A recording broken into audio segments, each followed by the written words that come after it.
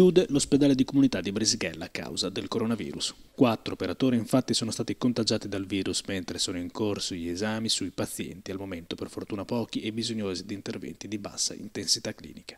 Qualora i pazienti fossero negativi verranno dimessi e potranno tornare a casa.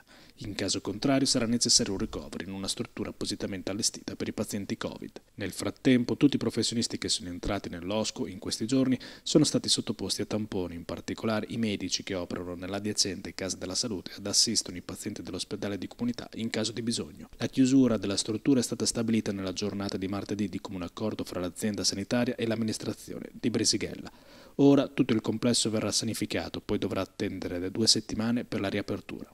Quel che più preoccupa però al momento è capire come il contagio sia entrato all'interno dell'ospedale di comunità, considerando che gli operatori che vi lavorano quotidianamente, come tutto il personale sanitario dipendente, è sottoposto a periodiche verifiche. In queste ore sono in corso le indagini epidemiologiche per cercare di risalire la fonte di contagio.